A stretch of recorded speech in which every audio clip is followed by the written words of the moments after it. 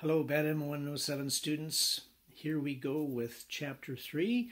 We've completed Chapter 1, the introduction to the course, Chapter 2 on torts, and now we're getting into contract law and risk management.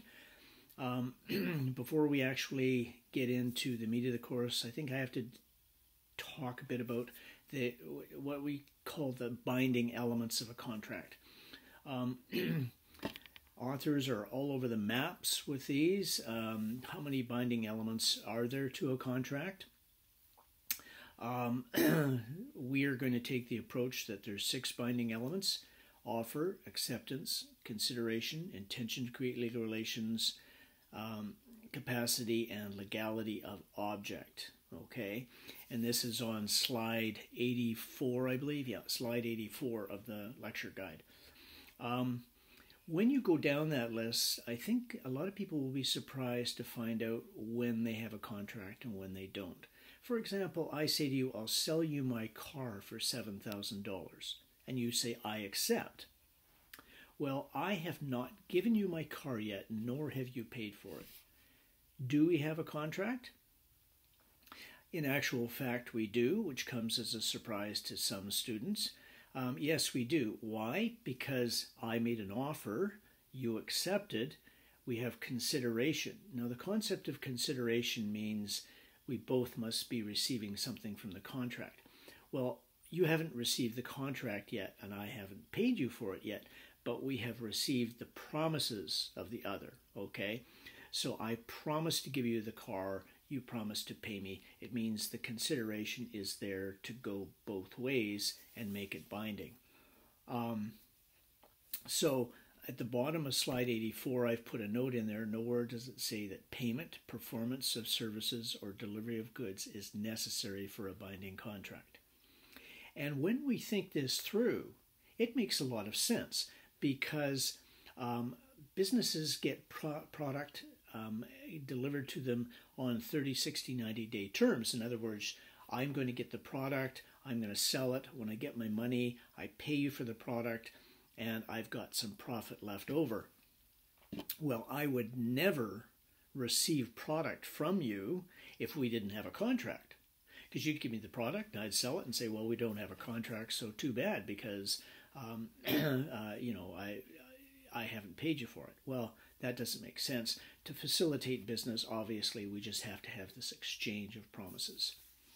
The materials in the uh, in the textbook, um, when I was researching um, this concept of how many elements in a contract they are, I found that authors were all over the map. Um, there was uh, no consistency. One of the uh, leading textbooks to uh, the, the one that I I took when I was uh, in undergraduate uh, years, and then when I first started teaching at Capilano College, the very expensive textbook um, listed six binding elements, the ones I've just mentioned. Um, well, other authors come out with their textbooks and they have to differentiate their product from someone else. So, some textbooks, for example, and articles on the internet, um, there was one that has offer acceptance consideration and doesn't mention intention to create legal relations really. Just the first three. Another author has um, offer and acceptance um, lumped as one element, uh, consideration, capacity, and then puts in consent. And you think, oh, consent must be the intention to create legal relations. And then when you begin to read it, you realize no, by consent, they means we must have freely consented to the contract, and if there's any duress, undue influence, or misrepresentation, then we don't have a contract. Well, I, th- I think that's not not the best way to approach it because um, what they're, what they're saying is um, there is no contract unless I freely consented, and there's those other factors. The problem is misrepresentation, undue influence, and uh, duress are ways that contracts can be set aside as unenforceable. So, in other words, there is a contract um, without this consent element. Um, so they're missing intention to create legal relations. Um, and then they call um, legality of object um, a lawful purpose. Okay, and then there's another one that has only five binding elements. They have consensus, consideration, intention, uh, legality, and capacity. Well, what they've done under consensus is combined offer and acceptance, which I, you know, it's just uh, my textbook is better than the other one, and it's different because of this. Um, anyway, uh, uh, and then there was there was one other one actually listed offer, acceptance, uh, consideration, intention as the four binding elements of a contract. And then when you started reading through the chapter, you got to the point where all of a sudden it said, um, oh, and the other two things that are necessary are capacity and legality of object. Well, if they're necessary, then obviously they've got to be elements. So when the dust settles, I think the best approach is the one where we say um, uh, the six binding elements are as set out in the uh, slide 84. Now, there are some things that you I think you absolutely have to take away from the course and remember. And so in the past, I've actually put a question on the exam that said, list the six binding elements of the contract, and blanks or wrong answers will be taken away from right correct answers. And I was astounded that people would go, mm, offer, acceptance, uh, capacity, uh, legality, and um, instead of getting five marks, um, they wound up getting two because offer and acceptance, capacity, and legality are fine, but you take away intention and consideration, and suddenly you're down to two. So they're getting a two out of five. And I was astounded. So, heads up, right off the bat, I don't know whether that will be on the exam or not, but you had better know the six binding elements of a contract. All right, next slide. Um, starts off with a definition of a contract a voluntary agreement between two parties uh, that is enforceable in court. And that's that's dodging the bullet a little bit because what you're saying is, and, and this actually came from a very famous late 1800s case where uh, one of the best judges of all time, Lord Herschell of the House of Lords, uh, was asked to define a contract. And he spent hours and hours trying to figure out how to do it. Finally, he said, to define a contract, I would have to write a textbook. So, pardon me, suffice it to say that it's a promise or set of promises that, that are, are enforceable. Um, so let's not worry about that. Let's just use that as the basic definition of a contract. Contracts may be verbal, written, or partly written and partly verbal. A verbal contract, I'll you my car for $7,000. I accept. Bingo, bango, no problem. Written contracts are generally part of the first part here and after referred to as part of the second part, long and more formal contracts. And then there's some where people will send a letter uh, outlining uh, that they want to go into this agreement, and then they'll have some verbal terms. Um, all of these are enforceable, but obviously a verbal contract is harder to prove um, but if you can, it's still enforceable. Now, let's say I say to, to a judge, I offered to sell Dwayne my car, and Dwayne accepted. And Dwayne says, he said maybe I would, maybe I wouldn't, and, and I said, well, if you you know ever make up your mind, let me know. So there was no contract the judge has to make a decision. He can't say, oh, well, I don't know who's telling the truth and who's lying or whether your memories are just confused, and so I'm just not going to make a decision. He has to make a decision, or she has to make a decision. So, what the judges do is, on a balance of probabilities, which we've already talked about, they don't accuse either party of, um, of lying, uh, committing perjury. Um, because uh, most often than not it's confused memories as opposed to intentional lying okay? So they don't accuse you of lying but what they do is they say i believe the veracity of the testament testimony of peter holden over dwayne thompson okay? Um, veracity just means the believability okay? Um, he had uh, made some uh, notes on a piece of paper or uh, so he has uh, some evidence contemporaneous with the event, or um, Uh, you know, he just has a better understanding of what happened when they met. And so they, they find out balance of probabilities. Um, obviously, what you want to do is in contracts search for certainty. Um, and when we do the drafting contract assignment for this course, look at the terms, what one party is saying to the other party, and saying, and say to yourself, is that clear or does it need further clarification in the written contract? Okay, because the, the point of a written contract is for to have details for certainty because memories fade. All right, first element offer, a clear and unequivocal offer from one party called the offeror to the other party called the offeree to enter into an agreement on certain terms and conditions. That's really all we have to say about that. But we do have to distinguish an offer from something called an invitation to treat. Uh, goods on a shelf with a price tag, or goods um, in a catalog, or um, a flyer, or goods on the internet um, are not offers.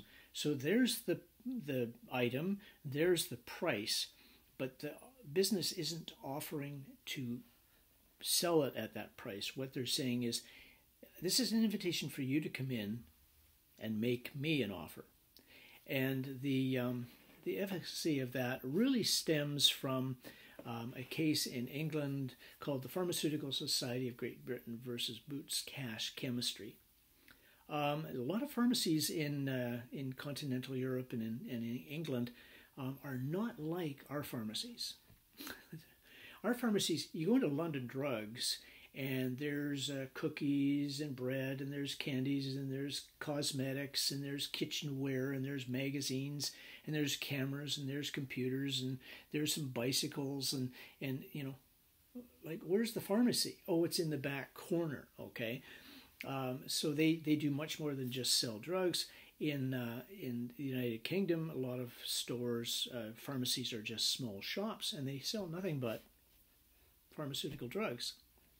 Okay, so England passes a law that says um, uh, any prescription drug can only be sold under the supervision of a pharmacist.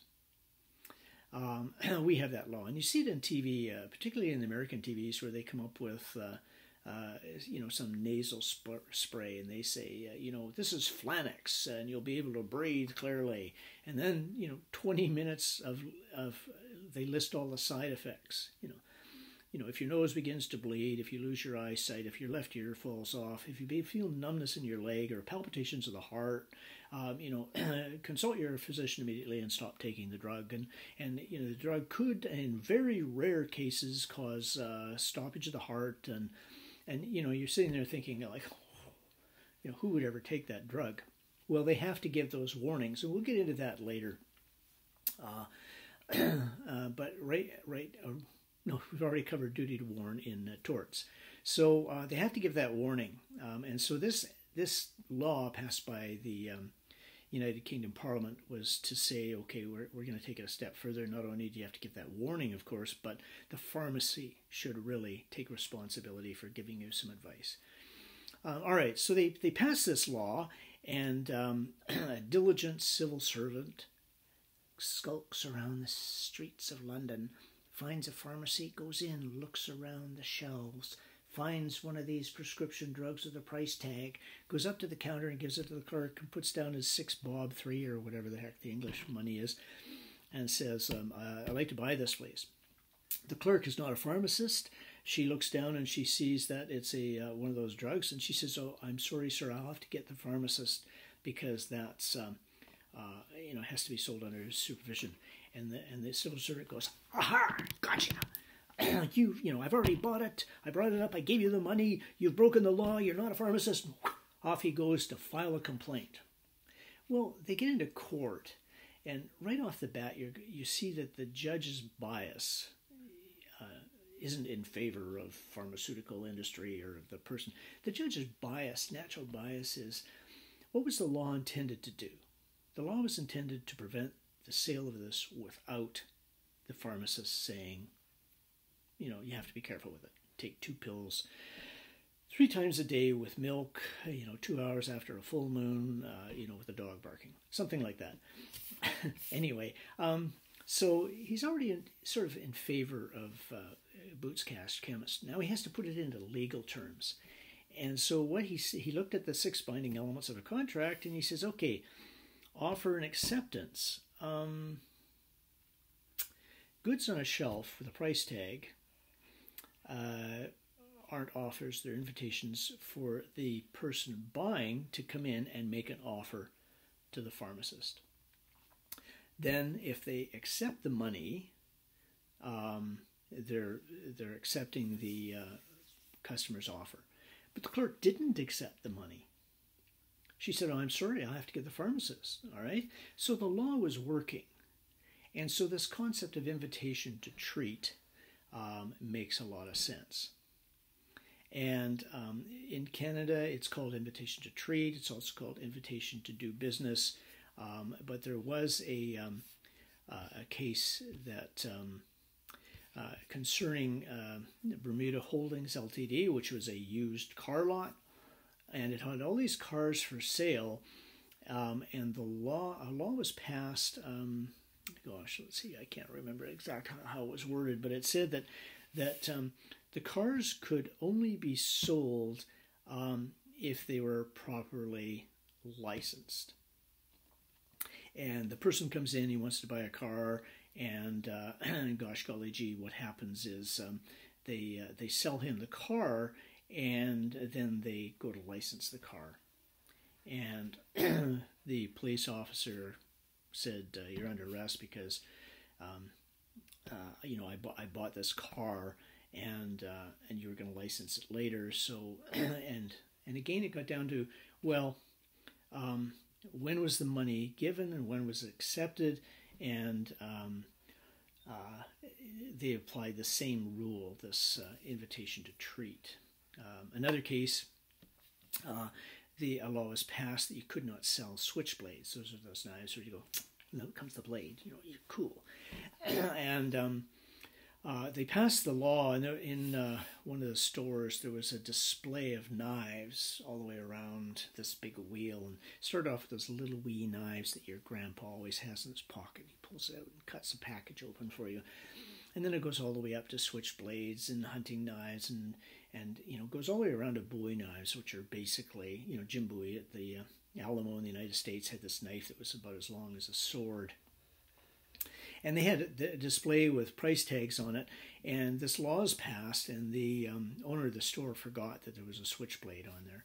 And so in comes an RCMP officer, and he says, um, "Here's my money. I'm buying that switchblade." And the owner of the store says, "Oh, oh, sorry, that's a mistake. I can't sell that. It's against the law." The RCMP officer says, "Aha, too late. I bought it. You're under arrest." Well, again, you can see the bias of the court is, "Hey, wait a minute. Um, had he said, "Oh, hey, you know, uh, not supposed to sell that to you, but okay, then he was breaking the law. But when the fellow gave him the money and said, I want to buy that, and he said, No, I can't, cannot sell it to you, the law was working. All right. And so the judge said the knife with a price tag was an invitation to treat. The police officer was making the offer. the store owner said no, no contract, no acceptance. Ergo, the law hasn't been broken. And you can see how that makes uh, uh, sense. All right. Um, slide 88. Um, now we have um, offer, offers that are made.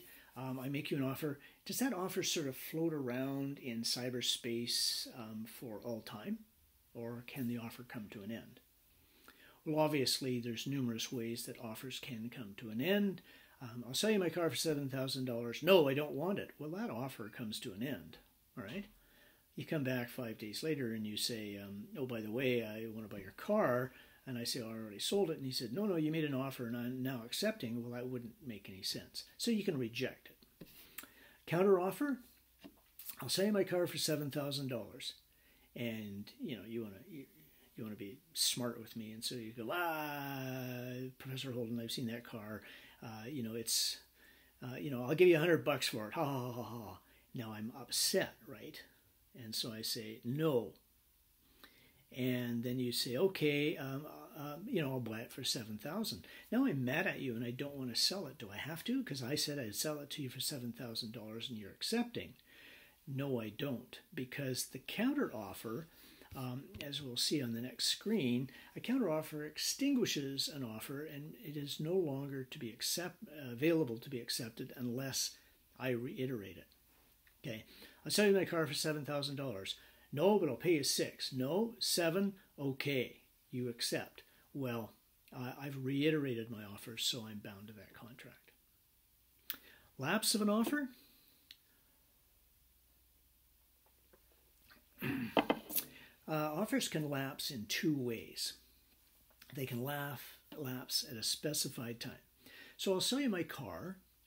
Uh, let me know by 5 o'clock Friday. 5 o'clock Friday comes.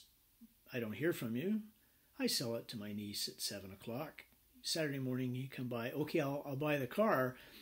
Now, if you could do that, then I would be stuck because I've now sold the same car to two people. So that doesn't make any sense. My offer lapses at five o'clock. What happens though if I say I'll sell you my car for $7,000 and you say, let me think about it? Now, I have not specified a time when my offer comes to an end. So the question then becomes when does it come to an end or does it ever come to an end? And the law has taken the position that the offer will lapse after a reasonable period of time. Now that's dangerous, okay? Because what's going to happen is you're going to wind up in court where some stodgy old judge is now going to decide what's reasonable and what isn't. Um, so you pretty much always want to put a time limit into an offer if it's not accepted immediately. Um, so what's reasonable? Well, um, cars in good times you can see them on the side of the road with a, for sale sign on them, and they can be there for weeks, perhaps months. Um, and so, and, and that's in good times. Now, I can imagine in the United States with people out of money everywhere, that people that have lost their jobs will be trying to sell cars and trucks and and uh, you know uh, bicycles and everything to try to get some money. Um, and yet the the COVID uh, virus is going to be with us for months and months and months and months and months. So and those cars are going to sit around there because do I want to buy a car and you know and the you know from somebody and risk getting infected and so um, it may well be that an offer um, will not lapse for three months. Okay, um, and yet uh, another example is um, I have raspberries for sale. Okay, so I'll say I'll sell you um, hundred flats of raspberries at uh, five dollars a flat, and uh, you say I'll get back to me. Well, if you get back to me in three or four days, I no longer have flats of raspberries for sale. I have mold or raspberry juice if they've squished. Okay, so because the raspberries are perishable, what is uh, reasonable is uh, a question of fact. Well, in those circumstances, a much tighter time period would be reasonable. Um, all right, so I come into class, if there was a class to come into, and I say to the class as a whole, um, um, I'll sell my car for seven thousand um, dollars. You know, if anybody's interested, let me know. Nobody talks to me that class, so I go away. I go back to my office, and uh, Robert Thompson, my uh, office mate, says to me, uh, "Peter, I hear your car's for sale. I'll give you eight grand for it." Well, I'd sell. I'd rather sell it to him for eight than to you for seven. So I say, "Sure, Robert," and I sell sell him the car. I then walk back into the class the next day, and you pop up and you say, um, Professor Holden, I'll buy your car. And I say, Oh, I'm sorry, I've already sold it. Well, I'm going to be sorry, all right, because now I've sold the same car twice. Um, Robert gets the car for eight, um, and you don't get a car, so you can sue me. Now, what would you get? Um, what are your damages? So you have to look for damages. Well, you go out and you buy comparable car and you have to pay $10,000. You could have bought mine for 7, but you had to pay 10.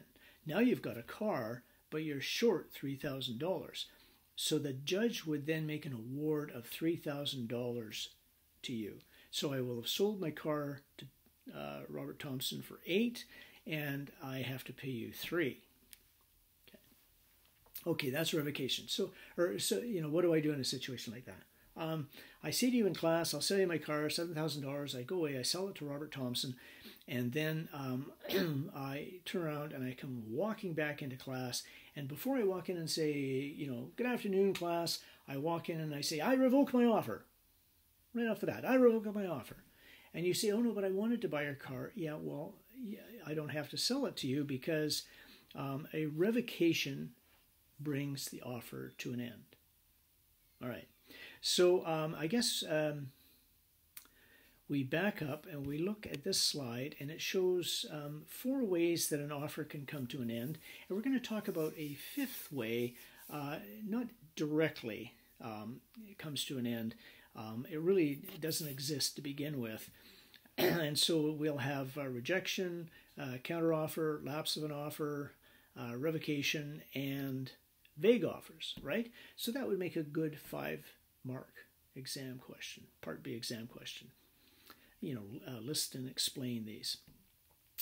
Uh, some textbooks say, well, a discharge of uh, uh discharge by performance brings an offer to an end. So if I sell you a quart of milk and you pay me, and you drink the milk, the, the contract comes to an end. But I don't think it automatically comes to an end until uh, per, discharged by performance.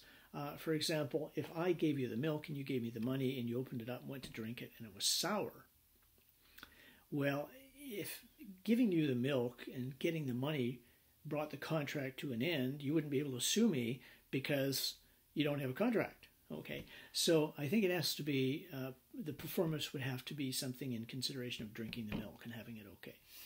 Um, so I, I think discharge by performance is a bit of semantics because um, if I sell you my car and you give me the money and you drive the car for a week or two and you think, you know, what's that noise? And you find out there's, you know, a real problem with it. And it was something that I knew about and you asked me if there are any problems and this is a misrepresentation, right? Well, the misrepresentation um, the contract still better be in existence, otherwise you won't be able to say, I want the contract uh, set aside because of misrepresentation.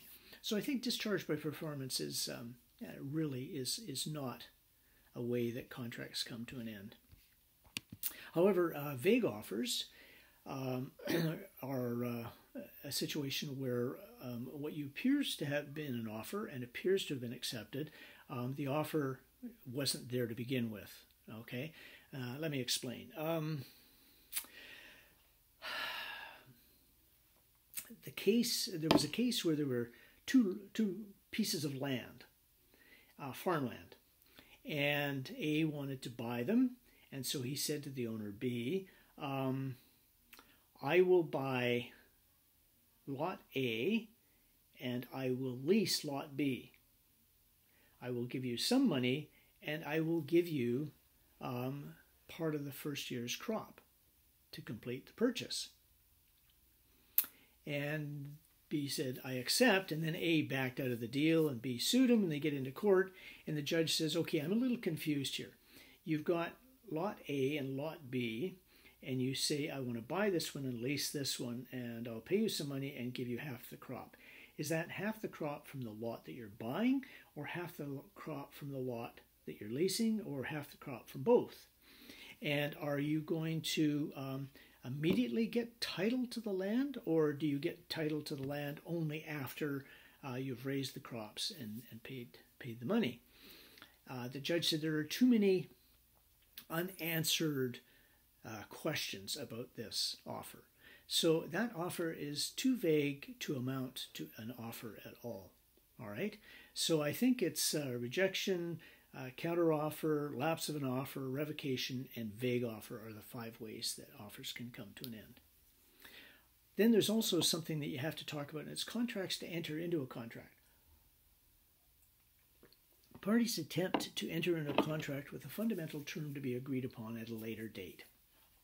So, for example, I say, I'll sell you my car next week at a fair price. And you say, fine, great. Do we have a contract? Mm, no.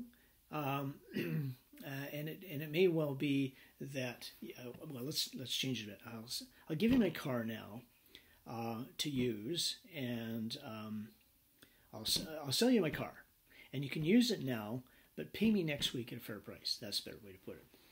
So it looks like we have a contract because bingo, you got my car and you're driving it around.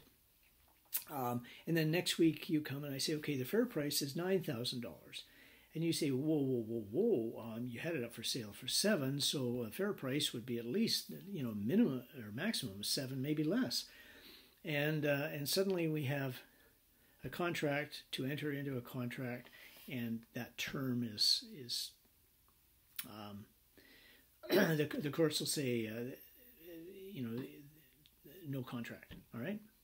So just read that in the textbook. That uh, I'll be I'll probably test you on vague offers, but I'm not going to test you on offer uh, contract standard contracts. Okay, so that's the first element of a contract, offers. Now we're going to get into acceptance. Um, just let me back up uh, for a sec here.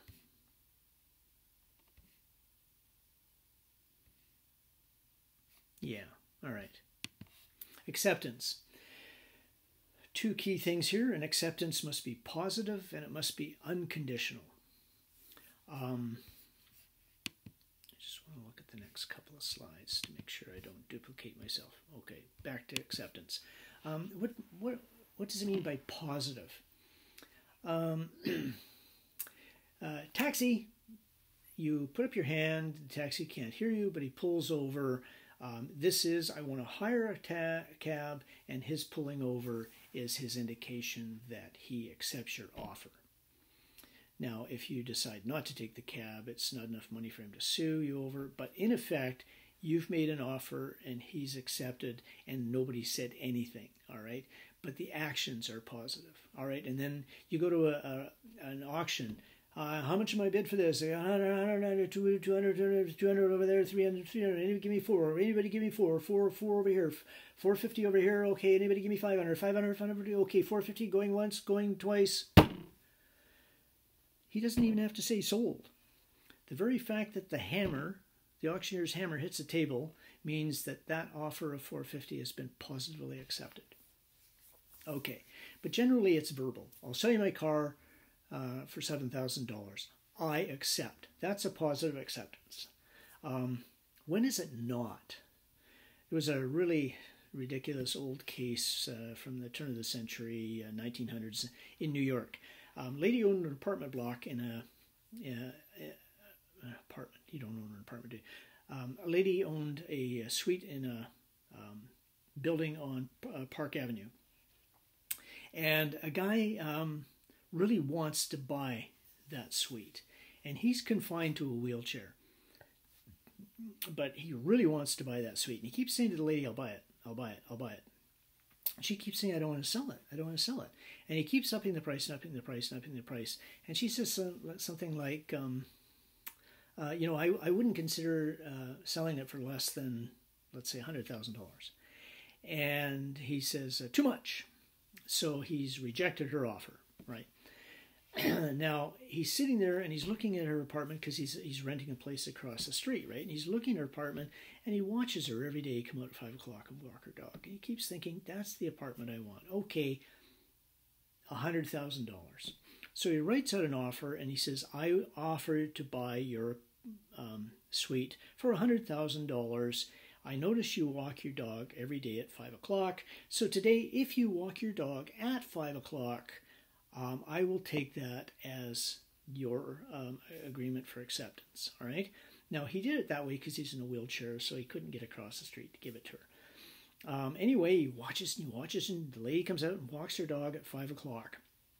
He goes, yeah, and he calls his uh, solicitor, and they draft up the papers, and they go over to her, and she says, "I'm not selling my place." And he said, I made an offer, and you positively accepted by walking your dog. And she says, But I walk my dog every day at five o'clock. so he says that you accepted my offer, and he sues her. Right. Anyway, they go to court, and the judge says, "All right, the lady walks her dog every day at five o'clock. Um, so if she um, that, that, cannot be considered positive acceptance because the dog is used to going every day at five o'clock. So um, that cannot be positive acceptance. Now, had she had you said if you walk your dog at six o'clock instead of five, um, then I would consider that to be positive acceptance. The judge said probably because she has changed something uh, in response to the offer. Um, but walking the dog at five o'clock, which she always does, cannot be positive acceptance. Um, anyway, that gives you the idea of when it works and when it doesn't. Two types of contracts there are unilateral contracts and bilateral contracts. Bilateral contracts are where both parties exchange promises and are bound from the outset. I will sell you my car for $7,000, you accept. That's a bilateral contract. I have not given you my car yet, you have not paid for it, but we have exchanged promises. All right? Um, so uh, that's pretty straightforward. But a unilateral contract is a little bit different. Um, what we've got here is a situation where um, one party says to the other party, uh, paint my house and I will pay you $12,000. The paint's there, the uh, ladders there, the tarps are there, the brushes are there. I'm going away on a trip. Um, if you want to paint my house, go ahead and I'll pay you $12,000. Um, if you don't want to, then, uh, then no problem. All right. So uh, the person goes away, and you think to yourself, mm, "Let me think. Let me think. Um, hmm, yeah, okay. I need the money." And so you start painting one side of the house. Then you get to the second side. You get to the third side.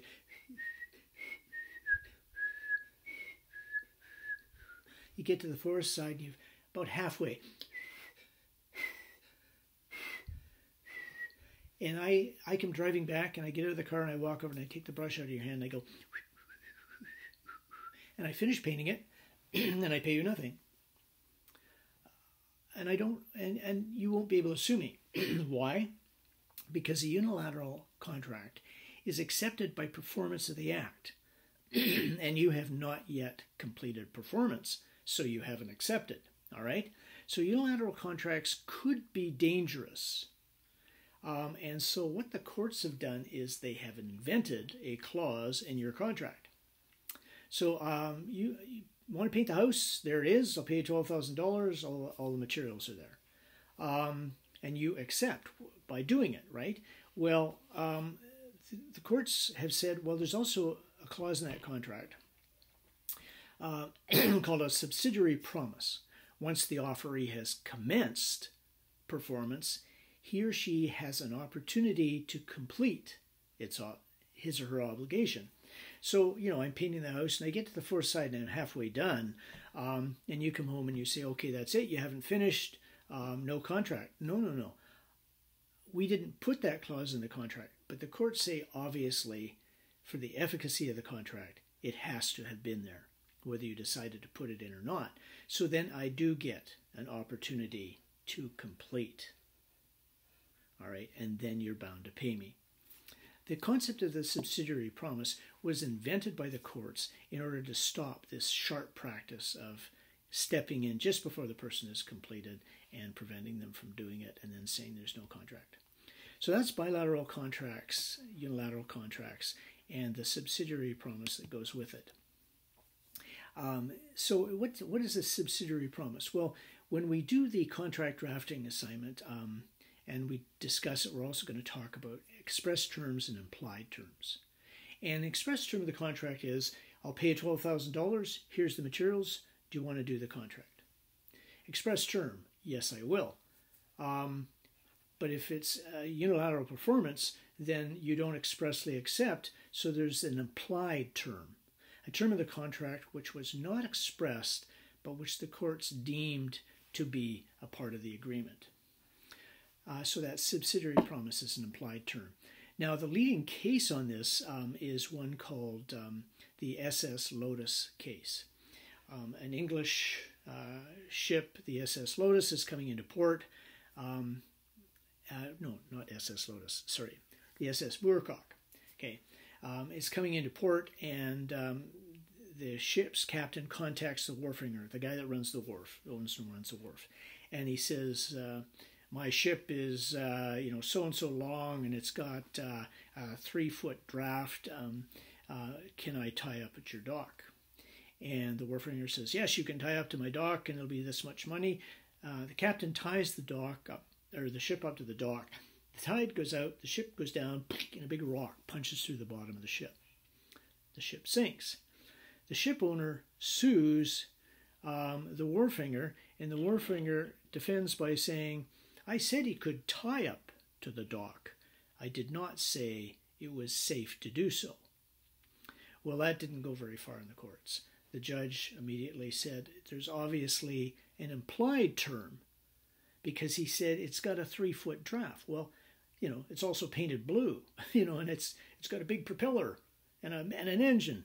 No, he said three foot draft. Why would he say that? Because he wants to know if the tide goes out, is it safe, right? So um, the uh, wharfinger was uh, was held to pay the damages for the ship on the basis of an implied term. Um, another example of where there is a, an implied term, and it also is the um, uh, shows the existence of a unilateral contract, um, and is kind of interesting given the COVID nineteen uh, pandemic that's going on.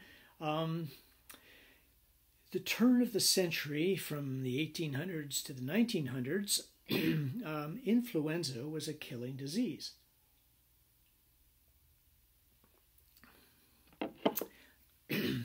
and um, uh, Carbolic Smokeball Company came up with what they said was um, uh, something that would prevent you from getting influenza.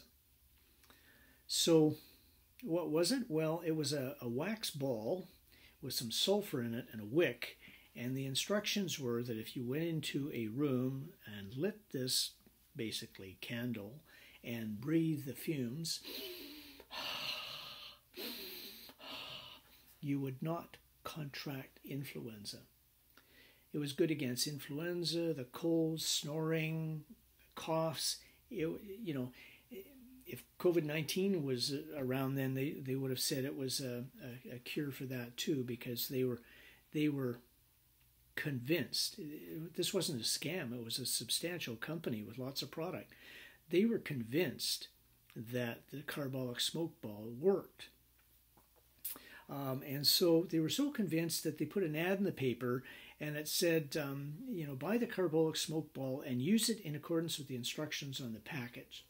And if you contract influenza, um, we will pay you 100 pounds. Now, 100 pounds in 1900 was a huge amount of money. So they were definitely, definitely convinced that they had a cure. And they even went further and said, to show our sincerity in this matter, um, uh, we have put a thousand pounds on deposit with the um, uh, something bank, Alliance Bank on Regent Street. So that ad goes in the paper, and along comes Mrs. Carlyle, and she thinks, okay, that's a good idea. She buys the smoke ball, uses it in accordance with the instructions on the package, still contracts influenza, and unfortunately for the Carbolic Smoke Ball Company, she survives. Lots of people didn't, but many did, and quite a number had used the Carbolic Smoke Ball. And so Mrs. Carlyle comes and she says she wants her hundred pounds. Well, all of a sudden, this business is saying, "Whoa, wait a minute! We've got a lot of people looking for uh, um, uh, for this money, and uh, we're going to go broke if they all get it." So they defend against Mrs. Carlyle, and um, they get into court, and this and and the um, counsel, the barristers for the Carbolic Smoke Ball Company um, defend on the basis that uh, this is just an advertisement and it's puffery. Um, and the, the court say, no, we're not accepting that because of the thousand pounds on deposit on uh, Regent Street. Then they say, okay, well, um, Mrs. Carlisle um, did not accept our offer. Okay, and um, she didn't buy it and then come to us and say, I accept the offer as set out in the newspaper. Uh, this is merely um, an invitation to treat. Um, and and the, the, judge said, uh, no. Um, this is a situation where it's a unilateral contract. You didn't expect hundreds of thousands of people in England to buy your product and all come down to your office and say, uh, I bought your product, we're accepting your offer. So obviously, this is a unilateral contract. All she had to do was use the product in accordance with the instructions on the package, and that would be acceptance. Um, and so the concept of the unilateral contract uh, meant that uh, they, they were bound to this contract. Um, and this was an implied term that all, all she had to do was use it, and then it would be acceptance. They didn't have to say that. All right. So um, that's uh, the Carlisle versus Carbolic Smokeball Company. They went out of business. Um, they struggled for uh, uh, quite a while after that, but they, they finally went out of business. So the reason that this wasn't considered, I should back up, this wasn't considered to be an invitation to treat, okay, um, was because it went too far. Had they just put the Carbolic Smokeball on uh, in the newspaper and said, uh, you know, th- three shillings, you know, th- three pence or whatever, um, then that would have been an invitation to treat, and um, she her buying it would have been uh, her offer, and then she would have uh, and Carla Carbolic Smokeball would have had to accept, but in fact. Um, it was not an invitation to treat because it went too far. It made an offer in the newspaper. Okay. Good exam question. Um, goods on a shelf are um, uh, with a price tag or goods in a catalog with a price tag or goods on the internet with a price tag are uh, invitations to treat, um, not offers. Um, with the exception of the Carbolic Smoke Ball Company, or versus Carbolic Smokeball Company case, um, why was um, uh, their advertisement in the newspaper considered to be an offer, not an not an invitation to treat? It was because it was too specific. It went beyond just listing the price. Um, another really good example to bring that sort of more current. Um, we used to have a store, a series of stores all around Vancouver called the Future Shop, and they sold electronic equipment. Um, and um, they were one of the first businesses to actually to um, try to sell online. So they set up a website and they put product on their website and uh, with price tags and they put on uh, MP3 players, uh, and instead of saying ninety-nine uh, dollars and ninety-nine cents, they said nine dollars and ninety-nine cents. Whoa, well, everybody wanted to buy one of those. So the first six people that went onto the site saw this and went, "Wow, that's a good price." They put in their uh, credit card information and hit the complete button, and uh, bingo, uh, they were told it was accepted, and then hundreds of other people tried. Uh, but by that time, Future Shop had noticed the mistake and closed down the site. So the uh, six people sued because uh, Future Shop said, no, that's a mistake. Um, uh, and, you know, this is an invitation to treat. It's a mistake. Um, and, uh, you know, we can correct it. Um, and the other hundred people, you know, were, were complaining as well. Well, the judges in the in the in the case said, okay, yes, the goods on the shelf and the website with a price tag are invitations to treat. The customer must make an offer, and it only becomes a contract when accepted. But the first six had done that. MP3 players, $9.99. Wow, that's an invitation to treat. I'm making an offer. Here's my charge card number. Future Shop says transaction complete, they've accepted. So the first six people got their MP3 players. All the other people know because they tried to buy, but it wasn't accepted. Okay, invitation to treat, attempted to buy, no bought, no uh, transaction not complete, no contract. The next topic is consideration. So we've done offer, acceptance. Now we're getting into consideration, and I, I, I said there has to be consideration going both ways, right? It has to be a promise, not necessarily payment or delivery of goods. It has to be a promise. All right. So consideration is confined as the price for which the promise or act of another is bought. Um, I I'll sell you my car for seven thousand um, dollars, and you say, okay, I accept. You're promising to pay me the money. I'm promising to give you the car. Consideration going both ways. Transaction complete. Contract. Um, now, uh, what about a gratuitous promise? Well, I say, um, I'll sell you my car for $7,000.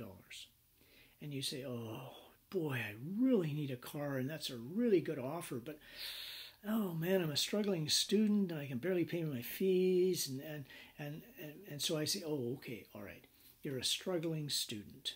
Um, oh, I feel so sorry for you. Okay, I tell you what, I will give you my car. So I, I offer you my car for free, and you accept. Um, and I say, come by my place at 5 o'clock on Friday, and I'll give you my car. 5 o'clock on Friday, I come by my place, and I say, oh, I'm sorry, I sold it to my niece. And you go, no, no, no, no, you made an offer, and I've accepted. I'm going to sue you. Can you sue me? Well, yes, you can. Anyone can sue anyone, anywhere, anytime, for anything. All right? But will you be successful? No, you will not. Why? I made an offer you've accepted. Yes. Your consideration was you got my car. What was my consideration? That warm, fuzzy feeling in the pit of my stomach, knowing I've helped helped out a struggling student. No, that's not considered consideration at law. So, because I have not received any consideration, we do not have a contract. Okay, but let's say I say, um, okay, I'll give you my car um, because you're a struggling student, and you say, oh no, I can't accept it for nothing, but here's a toonie, and you flip a toonie at me. Well, I'll dive across the desks and I'll push four or five other students out of the way to catch that toonie because I'm a lawyer and that's money. Uh, that's a joke. Anyway, um, you give me a toonie, and I go, oh, come on, no, that's not enough. Well, in the eyes of the court, yes, it will be, okay, because it is some consideration. And the courts are not are not concerned with the adequacy of consideration, only that there is some consideration there.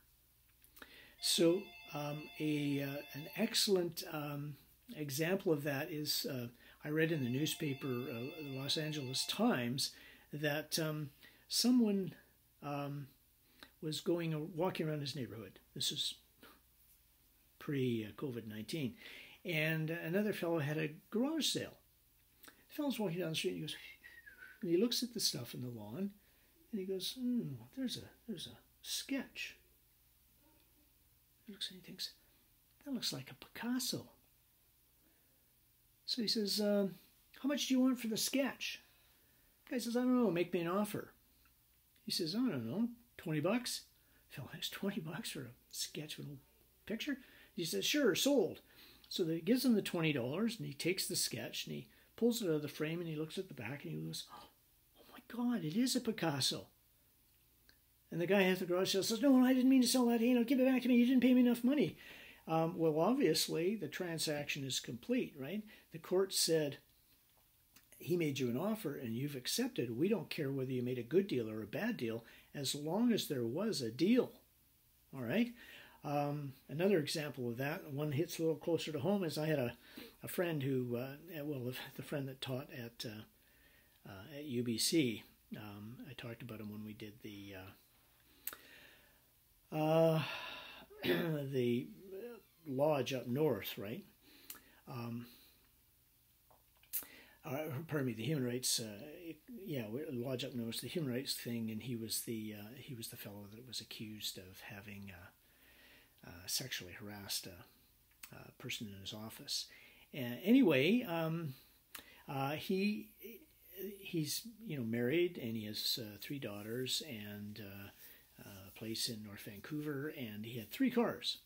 Um, they had the uh, van for driving the kids around when they were younger, and then he had the uh, little uh, Ford uh, to zip out to the corner store and back to buy milk. Um, and then he had his toy. It was a mint condition MG convertible sports car. Um, and he, you know, he would, he, slightest bit of rust, bingo, he's there fixing it up. It's like just, it's, it's his toy he would only drive it in the summer when it got really warm and it was sunny, and he'd roll it out and he'd drive it, and he'd never go over 30 miles an hour. Uh, otherwise, you lose your muffler on an MG. He'd drive it to UBC and back, uh, and then he'd put it away. Well, at work, um, one of the uh, instructors at, uh, at the University of British Columbia said, Brian, I need cash. I need it really fast. I've got a 1965 Ford Mustang convertible in, uh, in pretty good shape, and I'll sell it to you for, I think he said, uh, uh, what was it, three thousand dollars. Just you know, I, I, I need money cash fast. but I said, well, why don't you sell it? And he said, well, I don't have time, so I, I need to sell it to you. Brian said, I can't um, I can't you know buy it. If I bring another car home, uh, you know, my wife will kill me. And he said, no, no, no, you just buy it and then you know turn around and uh, sell it, and you can probably you know make a quick profit on it. But I need the cash now. I don't have time. So Brian buys it for $3,000 and he drives home and he comes in the driveway and his wife comes out and says, Come on, sweetie, you don't get two toys like that. Brian says, No, no, no. I said, I have another friend. I'm just going to resell it, right? So he cleans it up a bit and he puts a, a notice in the uh, uh, in the newspaper um, Ford, Ford Mustang convertible, 1965, good condition, best offer. Well, that's an invitation to treat, right? Um, he looks out the driveway and there's a person walking around looking at the car kicking kicking the tires. Brian says uh, you know can i help you? And the fellow says yeah i'd like to buy your car. How much? And uh, brian says um, $5000 the guy says $5000 okay i accept. I'll go away and i'll get a certified check and, and you prepare the uh, uh documents for the transfer. You know brian thinks whoa quick two grand fellow goes away, and Brian looks out the window, and there's another guy out there kicking the tires. And so he goes out and he says, Hi, can I help you? And the guy says, Yeah. He says, I really want to buy your car. How much uh, do you want? And uh, Brian says, um, Oh, uh, sorry, it's already sold. The fellow said, Oh, darn, you know, how much did you get? And uh, Brian said, You know, $5,000. And the guy says, $5,000? You're kidding. I would have given it to you for $15,000. I mean, I would have bought it for $15,000. Well, you know, Brian's in the house and he's on the phone to his lawyer, me, looking for free legal advice. And he says, um, uh, you know, I haven't uh, given the guy the car and he hasn't given me the money yet. We don't have a contract, do we? Funny thing was, we both took this course at UBC um, in our undergraduate degree. We took it together and we bought one textbook and we shared the textbook. And when we were finished our university careers, um, the only textbook that we fought over, and the only textbook that we wanted to keep, was the uh, uh, the business law textbook. Um, and uh, so we flipped for it, and he won. Okay. So I said, uh, oh, Brian, come on, you got the textbook. How about you read it? And he says, I have. He said, I'm bound to the contract because we've exchanged promises. It's a bilateral contract. And I said, Yes, you're correct. And they said, Well, what if I just don't sell it to the other guy? Um, uh, you know, what, what's going to happen? I said, Well, I don't know. If he was a car dealer and he knows how valuable it was, um, he will sue you. And uh, Brian began to cry. I'm just kidding, but he said, "Oh, the guy gave me his business card. He's a he's a car dealer." Okay, so um, he wound up selling it. He only made two thousand dollars. Um, but there's no way he could have had that contract set aside because the courts don't consider whether you've made a good deal or a bad deal. They just make sure that there has been some consideration in the contract. Um, the next topic is um, legal duty and consideration. Um, if you are already under a legal duty to perform a contract, then the offer of some consideration to do what you're already bound to do is uh, will be considered to be gratuitous. Uh, there's a, a, sailing ship there and a you know a storm uh, because this is an old English sailing ship case that set the law, Stilk versus Myrick in 1806. Um, the ship sails from the from England to the West Indies, fills up with that good stuff, rum and tobacco, turns around and heads back. Well, it turned around to head back and it ran into a storm. And, uh, uh, and it's a really terrible storm. And the crew are so frightened that they're beginning to get the life, go to the life rafts, and they're going to get into life rafts and leave the ship. The captain stands up and he says, Double the wages for every man who stays with the ship. Well, even for these uh, uh, seamen in those days who weren't the brightest bulbs in the string, um, this is a, an obvious uh, no-brainer. Um, you know, stay with the ship as long as you can. You can still go to the life rafts later. Well, the captain knew what he was doing. They got through the storm. They get back to England. Stilk goes into Myrick, the owner of the ship, and says, uh, I'd like my wages, please. Myrick pays him, and Stilk goes, No, no, no. You're supposed to pay me double the wages because the captain is your agent on the high seas, right? So there's the contract. I stayed with a ship, I get double. Myrick kicks him out. Stilk sues. They get into court. Now, there's other sailors watching this court case. So, although it's not a lot of money per se, for the shipping company, it is. When they get into court, um, uh, Stilk explains it to the judge, and the judge dismisses the case. And he says, um, uh, "You were uh, you were under a legal duty to sail the ship from England to the West Indies and back again. Um, so you breached your contract um, you would have breached your contract if you'd gone into the life rafts. And he said, on the basis of consideration, uh, Myrick owes you only your wages. Why? Because you're already under a, a duty to perform. What did Myrick get to have you do your legal duty? You were supposed to sail a ship. You did. So um, uh, there you go. Uh, consideration uh, no new consideration coming to Myrick. Myrick is not bound by the contract. Um, I think my wife is out, so I'm just going to grab the phone, which you hear ringing in the background, so we'll have a short break. All right, sorry for that uh, interruption. Um, we were talking about uh, legal duty and consideration, and um, the case of Stilk versus Myrick, which is 1806. Um, a number of years later, in uh, I think it's 1862, there was another very similar case. A ship from England sails down to the West Indies, fills up with rum and tobacco, turns around, it's coming back. It's caught in a huge storm. Um, this ship is leaking like a sieve. The water's pouring in below. They're bailing as best they can. The sailors are running around. Finally, they begin to go to the uh, life rafts. They're going to desert the ship. Captain says double wages for a man who stays with the ship. Well, again, it's a no-brainer. They stay with the ship, and if the ship goes down, they can still go to the life rafts. But they stay with the ship, and and they slap tar and and uh, canvas on the on the leaks, and they keep bailing, and they get through the storm, and they get back to England. And um, Turner goes in to Owen, the, the, who owns the ship, and he says, um, uh, "I want uh, I want my wages." And Owen pays him what he's owed, and Turner says, "No, no, no, it's supposed to be double the wages." And and uh, uh, Owen uh, Owen says nope, uh, kicks him out, and Turner sues. Um, pretty much the exact same scenario. So Owen's lawyer uses Stilk versus Myrick as a precedent for, for the fact that um, Owen received no new consideration for the sailor to stay with the ship because he was already under legal duty to do so. And the judge goes, nope. Uh, uh, Turner gets double wages. And uh, the rationale behind that decision was um, that the Stilk versus Myrick case could be distinguished. Um, there was a legal duty on the owner of the ship to provide a seaworthy ship. They get caught in the storm, the, sea, the ship's leaking, it's falling apart. Um, obviously, it was not seaworthy, so at that particular point, there was a new contract that, which came into existence. Double the wages to stay with an unseaworthy ship. Therefore, Owen was getting consideration and Turner was promised consideration, so Turner got his double the wages.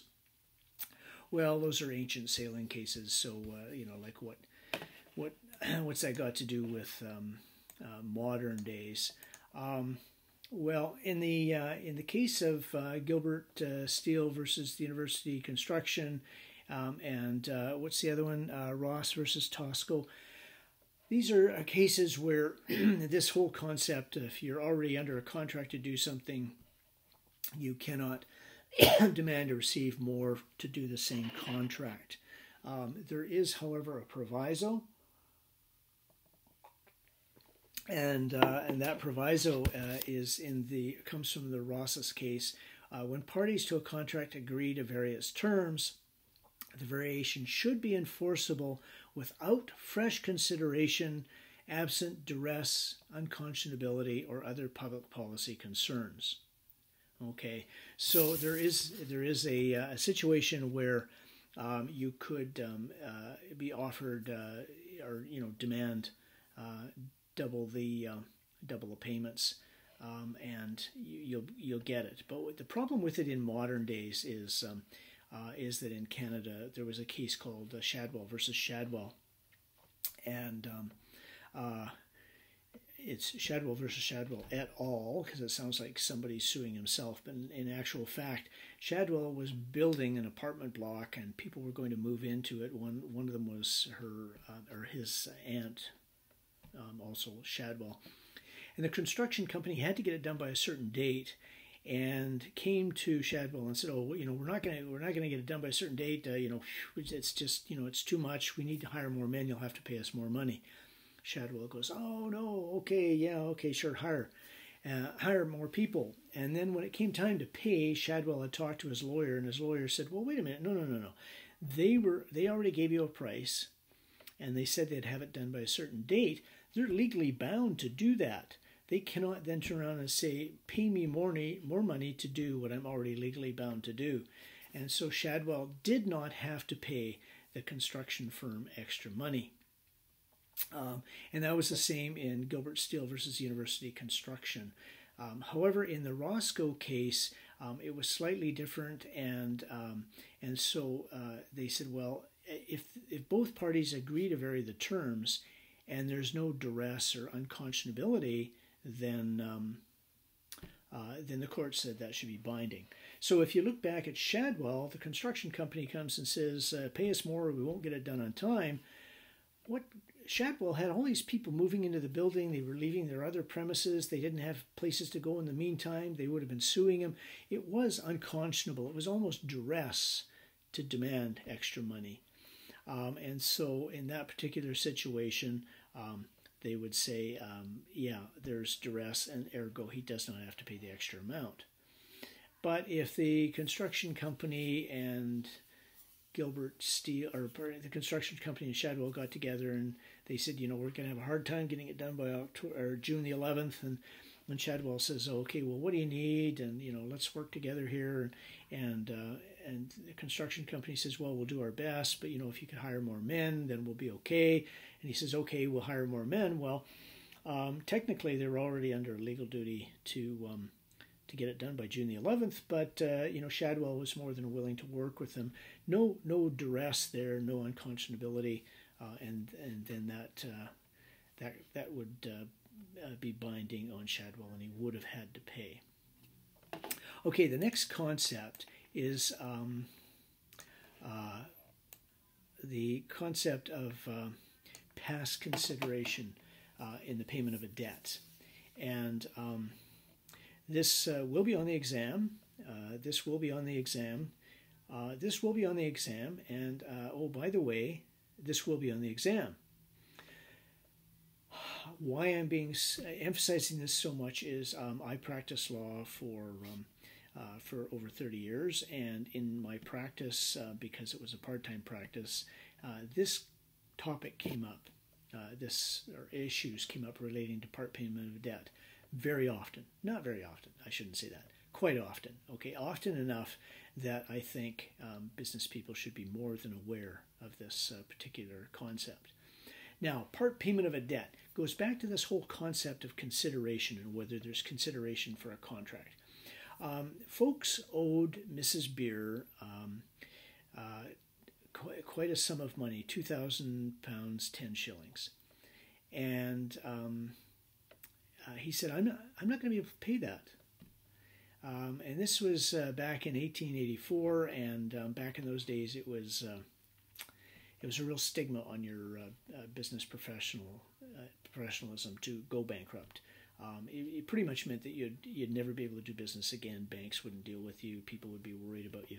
I mean, you know, look at Trump. Trump down in the United States. I mean, he he went bankrupt and bankrupt and bankrupt, and he used it as a way of not paying his rightful debts, and people still de- deal with them. Okay, so the stigma isn't as bad today, um, but back then it was a terrible thing to go bankrupt, and so Foakes was owed a lot of people money, and he was trying to structure his affairs so that he could prevent from going bankrupt. He owed uh, Mrs. Beers uh, two thousand and ninety pounds and nineteen shillings. Um, and he went to her and he said, "Look, I, I can't cannot pay that." Um, uh, but he agreed in writing to uh, with Mrs. Beers, and Mrs. Beers agreed this to accept 900 pounds immediately, and 150 pounds per month until the uh, sum was paid off.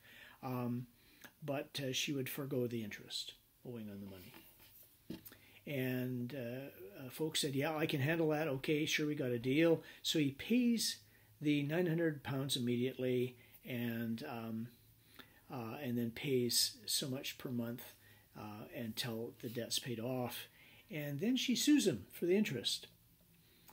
Uh, and they got into court, and the judge, and it went to the Court of Appeal actually in England, so three judges, and they said. Um, uh, because Mrs. Beers received no new consideration, in fact, she received less than she was owed, there was no consideration to bind her to this agreement to accept part payment of a debt in satisfaction of the whole. Okay, so you have to understand that. Okay, um, he owed her money, he couldn't pay it all. He said he'd pay part of it if she forego the, the interest. She agreed. Um, but what was she receiving? In order to have that agreement to receive less than she's owed, well, she's re- receiving less than she's owed. So she's not receiving any consideration. So the judges said that is the law. Mrs. Beers gets her interest. Well, they didn't like it. Okay. um, they said uh, that's the law, but and, and, there's nothing we can do about it uh, because the law is settled. But um, uh, uh, we wish it was differently. And so what the what the Court of Appeal did was they outlined four things that Foakes could have done to make Mrs. Beer's agreement to accept less than she was owed binding. All right, um, uh, and the first one was um, you can pay uh, the full amount before the due date.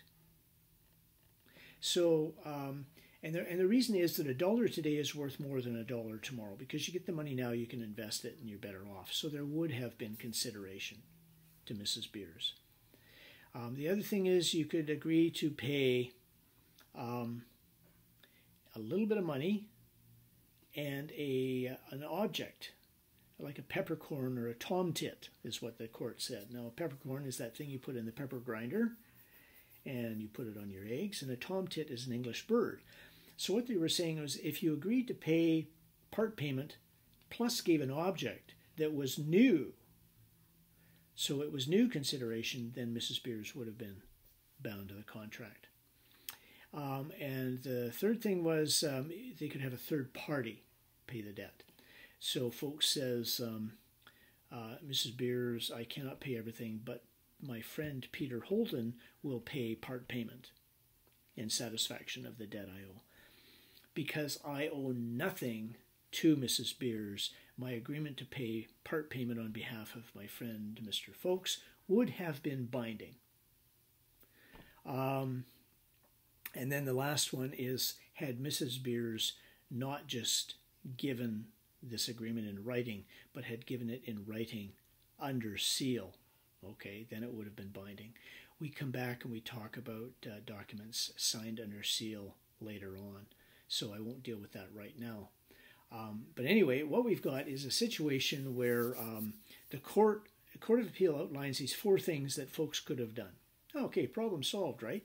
Um, how many of you sit around uh, Saturday evenings reading Court of Appeal decisions and would come across and say, "Oh, look, we better remember that there's four things we can do if someone, uh, you know, offers part payment of a debt."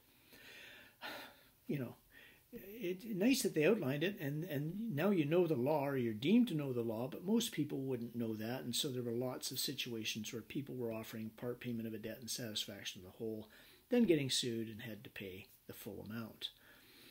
Um, the court said that this was um, uh, uh, the law, but they didn't agree with it, but there's nothing they could do about it. Well, this, this bad decision in uh, England uh, wound up being used as precedent in Canada. Canada uh, in British Columbia in a in a case um, uh, Cumber versus Wan, W A N E or Wayne, Wan, Wayne, I don't know, but Cumber versus Wan.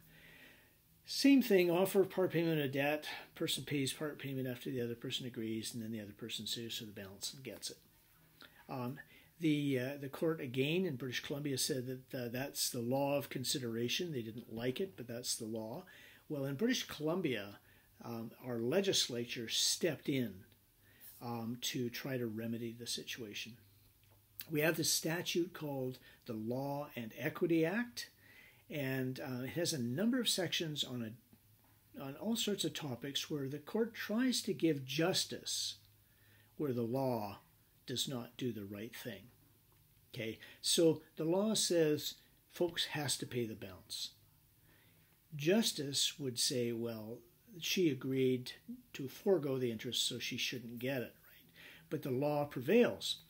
So the legislature in British Columbia passed and inserted a new section into the Law and Equity Act, and it's um, uh, outlined on um, uh, I'm just going to bring it up a little bigger so that I can read it on the screen. It's outlined in section 43, and it says part performance of an obligation either before or after a breach of it when expressly accepted by a creditor in satisfaction or rendered under an agreement for that purpose, though without any new consideration, must be held to extinguish the obligations. Ooh, well, okay, that's um, that's solved, eh? Well, do we understand what that really means? Um, and I'm going to talk about a situation to explain it, another anecdote. Um, I had a client who uh, um, it was a printing firm, and they did a print job for someone, uh, and it was a substantial print job. The total price was fourteen thousand dollars. About 11 months had gone by, and the person hadn't paid for the printing, although the print company had delivered it and it was satisfactory.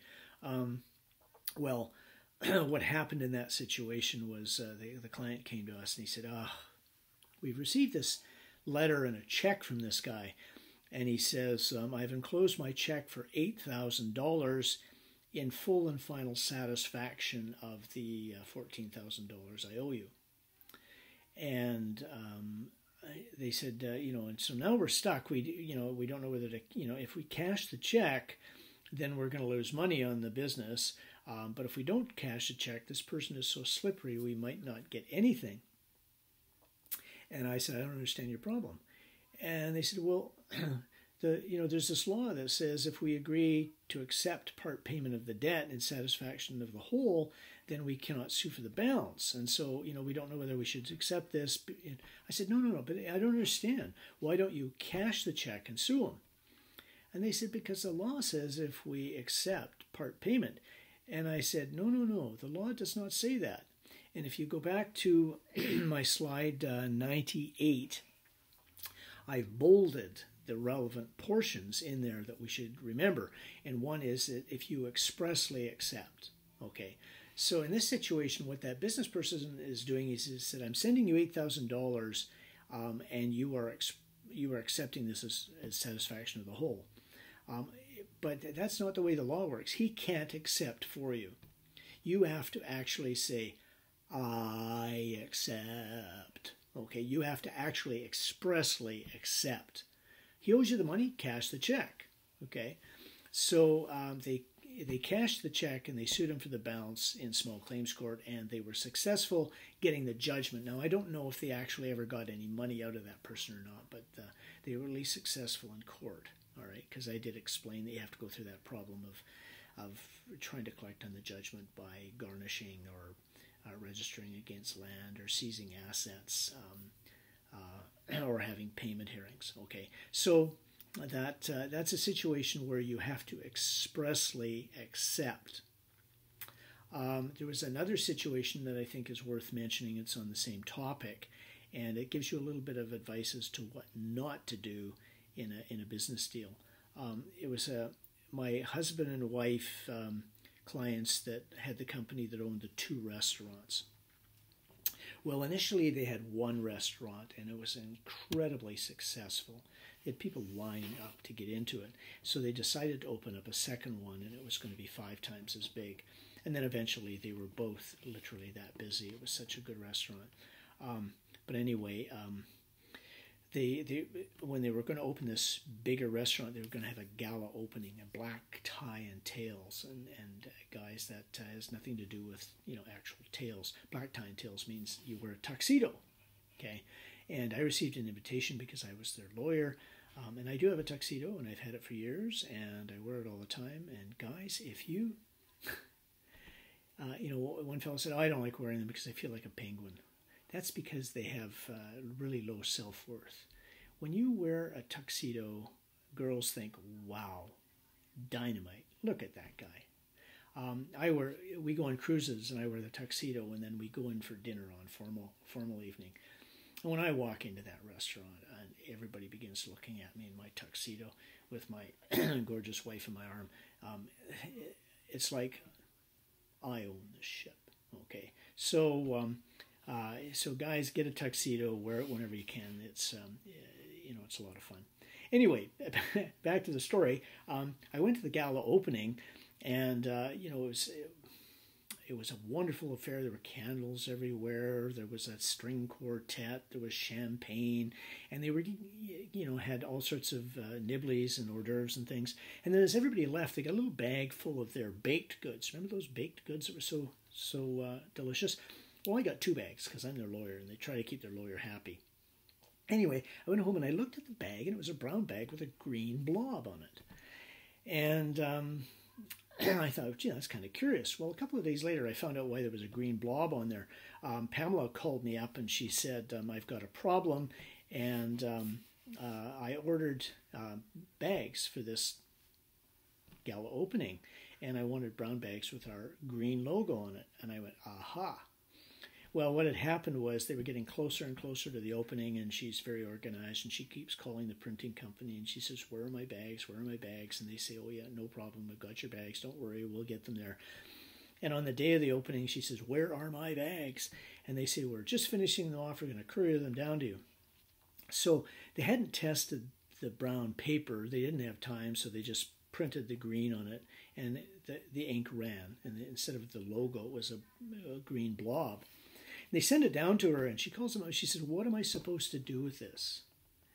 And they said, "Well, you know, we're really sorry, but uh, you know, you know, it's a real problem, but." Um, uh, you know, we didn't get to test the bags, and and she said, but that's I'm not, you know, I'm not paying you for this. And they said, hey, lady, you know, if you use the bags, you have to pay us.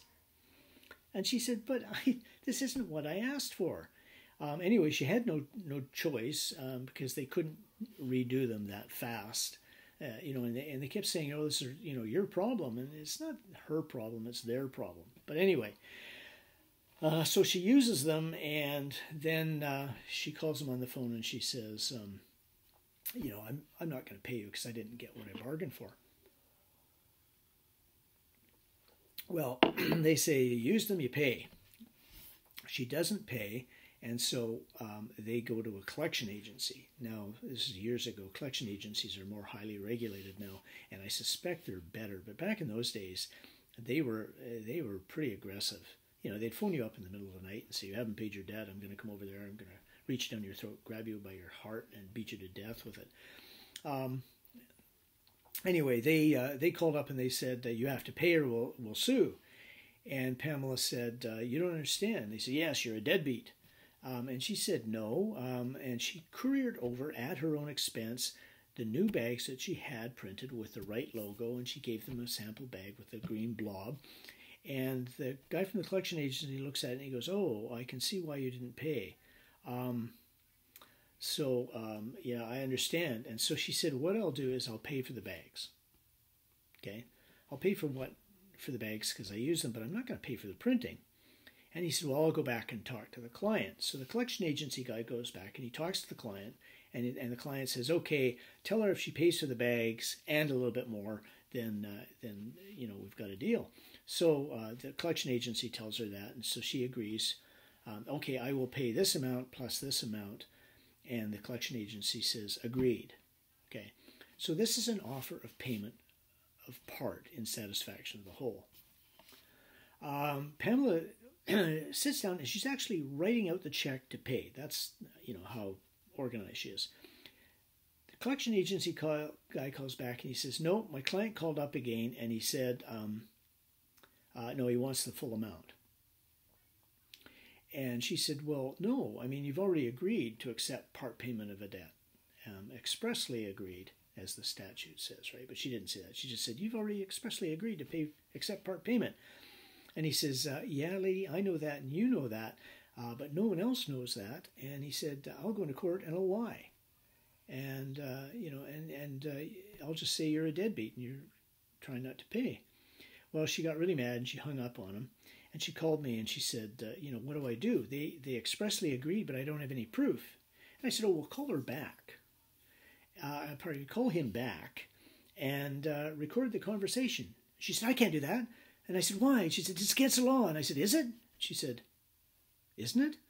And I said, No, it isn't.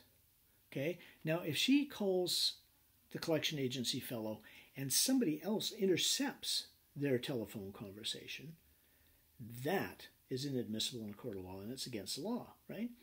But if you're talking to someone, you can record that conversation because you're a party to that conversation, right? And she said, Well, how will I do it? And I said, Have you got an answering machine? And she said, Well, yeah, on my desk. And I said, You see a little red button? And she goes, Yeah. And I said, What's it say on the button? She says, uh, Record. She said, Oh, will that record it? And I said, I'm pretty sure. So we practiced a couple of times. I would phone her and she'd hit the record button, and yeah, it worked. So he pho- she phones the collection agency guy and hits the red button, and she says, Look, um, you know, you expressly agreed to accept part payment of the debt in satisfaction of the whole. And he goes, Yeah, I know, lady, but as I told you before, um, you know, I'll go into court and I'll lie. Butter won't melt in my mouth. You know, I've lied lots of times in court. You know, you'll be, I'll accuse you of being a deadbeat. And and she gets it all down on tape, and she says, Well, you know, that's it. I'm I'm not paying. So the collection agency sues on behalf of the uh, printing company, different printing company, I should mention, because the first example was a printing company. This is a different printing company. Anyway, um, otherwise it would be a conflict of interest for me. Uh, anyway, um, she gets it uh, in tape. He, they sue, and then they have the settlement conference. Remember when we went through the steps in a court action? Um, there was um, uh, the world according to Peter Holden. There should be a demand letter sent out, but if they don't respond to the demand letter, then you file a notice of claim. They file a reply. Um, there could be a counterclaim and a, a reply to the counterclaim, and then there's a settlement conference before trial. Well, they're having a settlement conference, and, and uh, um, Pamela calls the registry and asks for a tape recorder to be there. She attends. The guy from the collection agency attends. In walks the judge, and he sits down at the table. They go through the whole scenario. She's he's sitting there saying, "This woman is a deadbeat. She won't pay her bills. Um, there, I did not tell her that you know we would accept part payment." And then Pamela says to the judge, uh, "With your permission." and she puts the tape in the in the recorder and starts paying it. And fellow from the collection agency is looking at the tape, and then he's looking at the judge, and he's looking at the tape, and he's looking at the judge. And when it's over with, the judge looks at the uh, collection agency fellow and says, um, "Would you care to change your story?" And um, of course, he's a liar, so immediately starts lying and saying that was his client that was forcing him to do this. And the judge says to him, had you been under oath, I would have you put in prison uh, for contempt of court um, and only released at my discretion. You know, and the, the fellow's sweating, right? Um, and uh, I should back up and say that when you go to a settlement conference, you do not swear to tell the truth, the whole truth, and nothing but the truth, so help you God. You do that when you get to court. The idea in a settlement conference is they want people to be a little more forthcoming, and so they don't want to feel, um, uh, you know, constrained by uh, by that oath. Uh, anyway, um, Uh, so the fellow says, "Yeah, okay, okay. Um, I tell you, you know, yeah, my my client will accept part payment." Um, and uh, Pamela at that point said, "No, I don't think um, I want to pay anything. Um, we'll see you in court." And the fellow said, "Okay, okay. Well, I'll just, you know, let's let's. I'll sign a notice of discontinuance right here." So he signed a notice of discontinuance, and um, uh, and uh, Pamela didn't have to pay anything. Uh, and then I'm sure the collection agency guy went back to his client and lied about what happened, but uh, that's not our concern. That's his problem. Anyway, um, the the upshot is that um, in your business dealings, uh, be honest. Okay, um, you never know when and how someone's going to find out that you're lying. And it seems like the only place where it doesn't matter is if you're the president of the United States, you can lie with impunity. Okay. um, so that's uh, part payment of a debt. And it will be on the uh, exam. It, it, will be on the exam. And uh, by the way, did I tell you it will be on the exam? So you should know that pretty carefully. Next, next concept is um, quantum meruit. Uh, this is obviously Latin, and it stands for the proposition that if no price is specified in a contract, and the contract has been performed, the courts will order payment of a reasonable amount for goods or services or payment of quantum meruit. um, example, um, you, uh, my, I go to my daughter and um, uh, I say, okay, uh, Bridget, um, uh, if you mow the lawn, I'll pay you some money. And she says, okay, Dad. And she hops on the lawnmower which um, would just the thought of it terrifies me. Okay, um, she's um, she's not the most careful driver, and of course my other daughter, yeah, she'd get on the lawnmower and she'd do it at, at lightning speed. Um, so, but anyway, that aside, uh, they're lovely girls. They are really. Um, if she, if if she said, "Okay, Dad," and she gets on the lawnmower and she drives around, I'm looking out my window right now at my beautiful green lawn. A nice sunny day here in Gibsons. She mows the lawn and then comes in and says, That'll be 50 bucks, Dad. And I go, Oh, no way, uh, 20. She goes, 50, 20, 50, 20, 50, 20. I'm going to sue you, Dad. Well, uh, two problems with that right off the bat. One we haven't gotten to yet, and that is that um, we are uh, father and daughter, and the courts would say that we have no standing to sue because. Um, this was a um, non arm's length transaction, a transaction between family and friends, and the presumption is that neither of us intended on entering into an agreement on which we could sue or be sued. But we'll get to that later on. The um, what, what her her immediate problem is no price has been specified, and so the courts will not grant her fifty dollars. Um, they may say 20 sounds good, or they may say some other amount but they can decide. And then both of us, you know, my daughter had come in. She said, "Well, I've checked with some lawn mowing companies, and they would charge, you know, seventy, eighty dollars." And and I say, "Well, you know." Um, I've I've been paying them twenty dollars for doing it in the past or something, and then the judge makes up his or her mind. So that's because no price has been specified. But if a price has been specified, quantum meruit does not come into play. So, for example, um, you ask me to uh, draft you a will um, and I say, okay, that'll be a thousand dollars, and you go, oh wow, mm, whoa, that's more expensive than I expected, but well, you know, okay, um, thousand dollars, and so I draft the will and I give you my bill, and then you find out from your neighbor that they got a will done for two hundred and fifty dollars, and so you refuse to pay, and I sue you and go to court. You are not going to be able to argue quantum meruit. I'll pay a reasonable amount, but $1,000 is unreasonable. Be, why? Because that, quantum meruit only comes into effect if somebody has not specified a price. Okay, you made a bad deal, but the courts don't care if you make a bad deal. Only that there's some consideration going both ways. Okay, that's quantum meruit. Then we get into um, the concept of a seal, signing a document under seal. And this is one of the situations where uh, it's really unfortunate that is this is just a video lecture um, and I'm not doing it in the classroom. I have a box full of paraphernalia so that I can do a show and tell on this. Um, uh, a seal uh, stands for the proposition that it is your act and deed. If you sign a document and put a little red seal beside your name, um, you are the covenantor. Okay, this document now becomes called a covenant, and um, uh, uh, the deed is is the document under seal. Uh, okay, so uh, what's the significance of this? Um, the significance in modern law is that you no longer are required to receive any consideration. Hmm.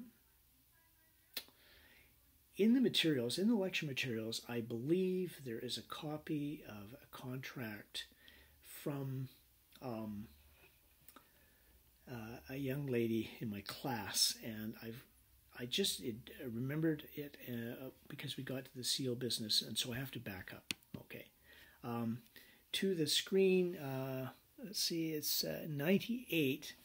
Remember those four things that the courts could do? They could um, uh, you, uh, they could say you, uh, not that the courts could do that, you could do. Um, you could pay the money in advance, or the, the agreed upon sum in advance. You could uh, uh, have a third party pay. You get an agreement signed under seal. And then the other one was that you could give part payment plus a peppercorn. Well, um, this concept of giving a peppercorn is actually something that has been used in um, uh, English law. And in that um, agreement that is in the materials, and someone email me and let me know if it isn't in there, and I'll try to get a copy and post it online. My problem is that everything is in my office, and uh, uh, and I really do, because I am in the high risk category, not want to go there. Um, but anyway, um, the this agreement was well. Let's back up. Uh, the Queen of England has all sorts of assets, land and buildings and jewels and things and she cannot dispose of any of those assets anymore. She's prohibited by law of England to sell anything, okay? Um, and she cannot give it away. So um, it turned out that there was a flat, which is an apartment in London, that uh, was owned by the Crown, and the Queen wanted to give it to a family. Um, but she couldn't sell it to them, nor could she give it to them so what she did was she said, All right, I will lease it to you for 999 years for one peppercorn. okay, and um, so she isn't giving it to them because after 999 years it goes back to the crown. She isn't selling it to them because after 99 years, 999 years it goes back to the crown and um, she uh, she has a, a, an agreement which is binding because the person gave the queen one peppercorn. Now that flat was sublet to a student in my class by whatever family owns it, and in there they have nominal consideration. Okay, so um, uh, you have an agreement as long as there is some consideration going both ways. So they sublet that flat to this student for 10 pounds. All right, so it's tantamount to ownership because um, you're you know you're going to live for maybe 90 years, so that's like one tenth of the the term of the lease, right? And so you can transfer it under your estate to somebody else, and they can transfer it and transfer it and so on. So it's tantamount to ownership, but you don't actually own it. All right, so that idea of the peppercorn is used at law, and that shows the adequacy of consideration because she gets this subcontract um, for a nominal sum. Um, and when I was I was thinking about signing contracts under under seal, that came to mind. So I wanted to just skip back and cover that because I'd forgotten. All right, so now we're back to uh, slide 100, use of a seal.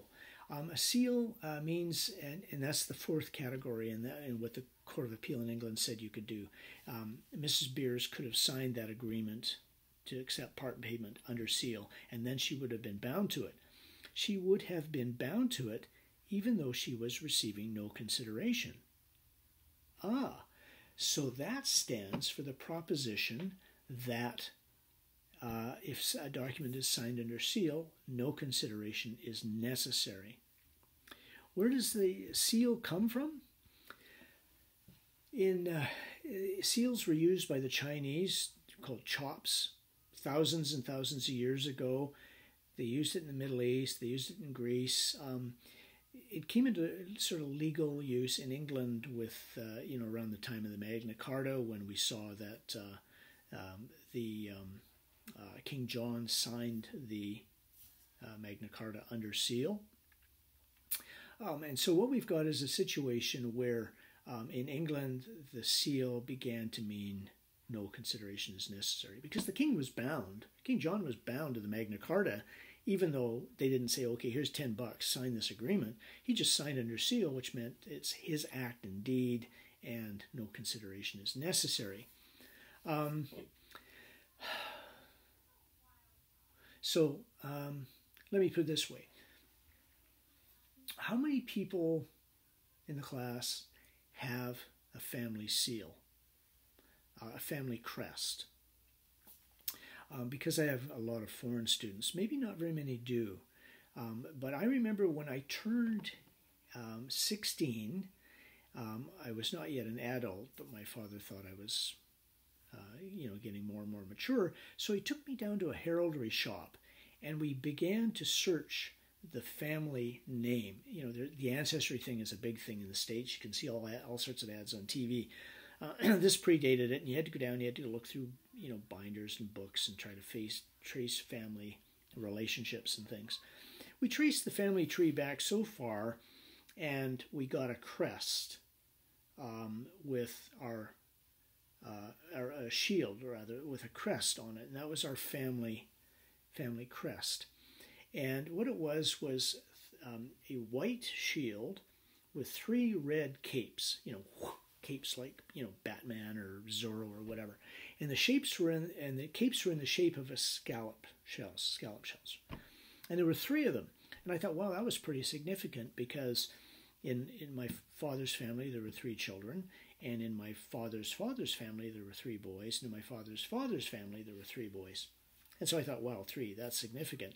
At the top of the crest was a bird. Okay, and that's the moorcock. Remember the SS Moorcock case? Well, apparently the moorcock has tremendous significance in English history. So that was our cape uh, and our shield, and um, or pardon me, not cape, our shield and our crest.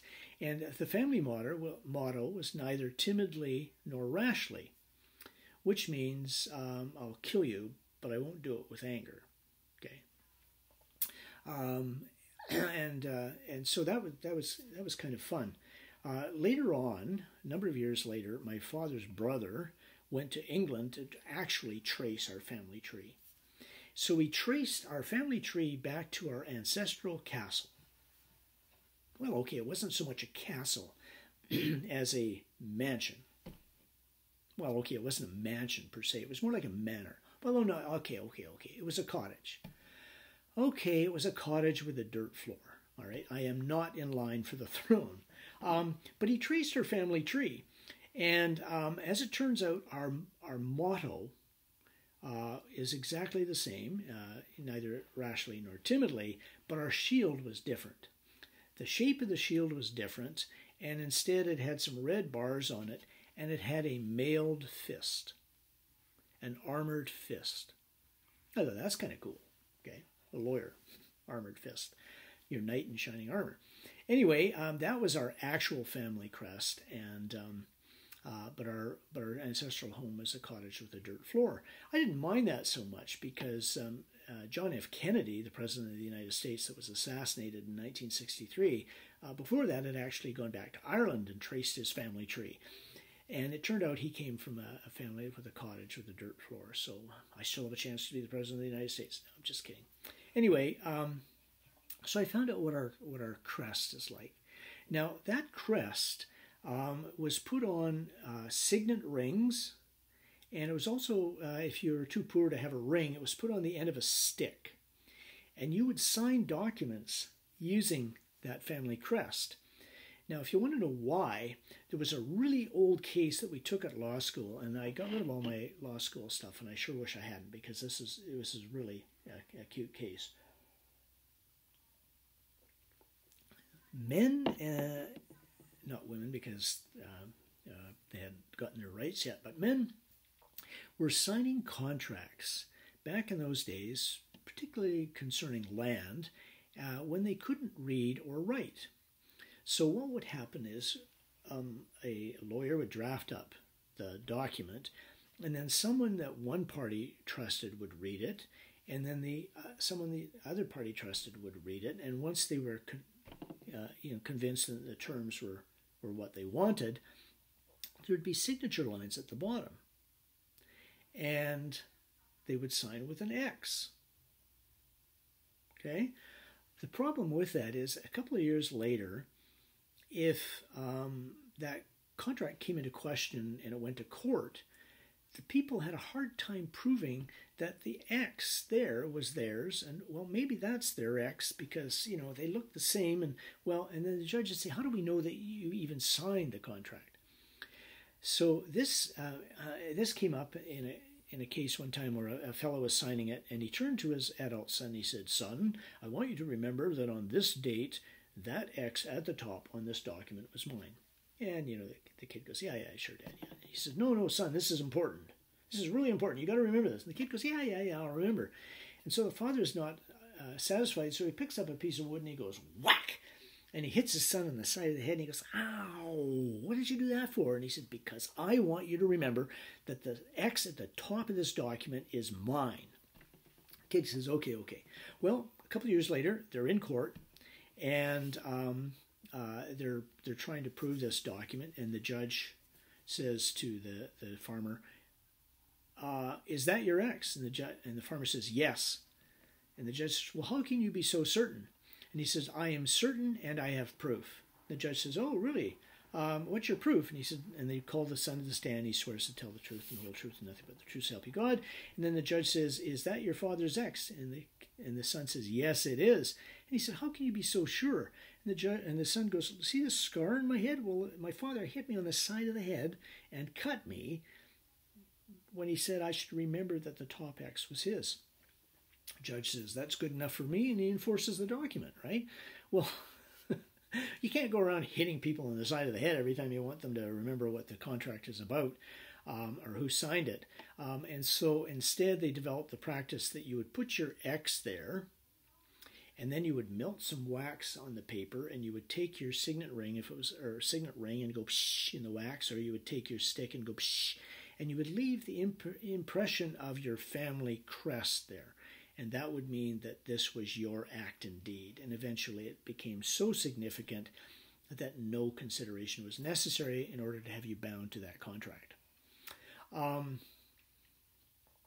let's see. Uh, now, oh yeah, uh, an aside, and it's unfortunate that I don't have the materials, but um, an aside is that um, when my uncle went to England and he found our actual crest, he had three pewter mugs made. And pewter mugs are those mugs that they use in uh, uh, in pubs you know, and the drinking, um, and uh, and this story, even though it's an anecdote and it sounds kind of funny, actually goes to this whole concept of consideration. I had this mug that was produced, and it was it had our family uh, crest on it, and if you tipped it like this, it had a glass bottom. A pewter mug is nice and silvery, but it has a glass bottom. And um, I asked my students then, I'll ask you right now, does anybody know why? Okay and I would be surprised if very, very, very many of you knew. Um, back in uh, in the days of England uh, having its huge empire, uh, I remember how it was so important in Regina versus Dudley and Stephens. Well, um, it was important to get lots of men into the Navy and into the Merchant Marine. And the way the uh, Navy used to do it is they would go around London uh, late at night and they would uh, wait until somebody came out of one of those pubs uh, and they're you know they're drunk and they're going home and they would go whack and they'd hit them on the head with a trudgeon and the person would wake up on the deck of the ship the next day and the captain would say congratulations you're in the navy. And that's it. You've sailed away and you're gone for you know one easily maybe two maybe three years before you get back to england. Um, and so, yeah, you're literally in the Navy. They were called press gangs because they pressed you into a contract. Um, well, one night, um, a, a lord, um, let's call him Lord Haldane, is out having a good time and he's slumming, you know, and he's down there in one of those pubs and he's having a good time and he's drinking, and he walks out of the pub and whack, he gets hit on the side of the head. He wakes up on the ship the next day. The captain comes out and he goes, Congratulations, you're all in the Navy. Oh my goodness, it's Lord Herschell or Lord Haldane. So they, they had to turn the ship around and go back and take the Lord back to England. Um, and then the Lord went in the House of Commons and he said, The practice of press gangs must stop. And he said, The only way that you can get people into the Navy or the Merchant Marine is by a binding contract. You have to offer them money and they have to accept. And so, what the press gangs would do, instead of beating you on the side of the head, they'd go into the pubs and they'd be drinking there too, and you'd be drinking away, you're drinking away, and without you noticing, they'd drop a crown, which is one of their coins, into the into the into the mug, right? And you'd go, oh, and you drink, and you go, hey, what's this? And they'd say, congratulations, you've accepted the crown. Uh, that's our, our consideration. You're you're in the Navy, okay? And then they'd take you away. Well. Um, the practice began that they would put a glass bottom in the mugs. And you'd be in there and you'd be drinking, and they'd fill it up, and then you'd say, bottoms up, bottoms up. You ever wonder where that expression came from? Bottoms up, because you'd hold the mug up and you would look to see if there was a crown or any money in the bottom of it. And if there was, you'd put it down and walk away. No contract. Okay? So um, there you go. Something like a pewter mug with a glass bottom um, relates to contract law and the concept of consideration. All right, let's modernize this a bit. Um, on uh, slide 100, um, it shows you a picture of a document with a seal, and that little uh, thing there is a, a, stamp that you can impress your seal on the uh, uh red um, dot.